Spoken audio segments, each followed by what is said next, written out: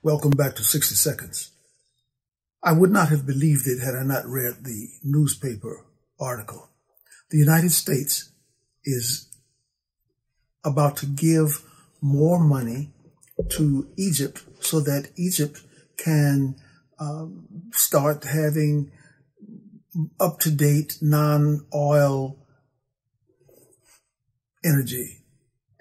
Uh, they want some of those little windmills or some water, something, whatever it is.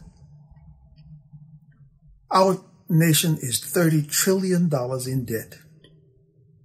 There are people in this country, like veterans, who are homeless, who need health care, who need medicine, who need all kinds of things.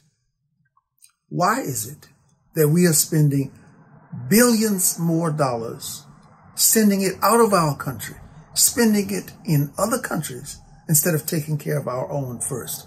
We are already taxed up to our eyeballs.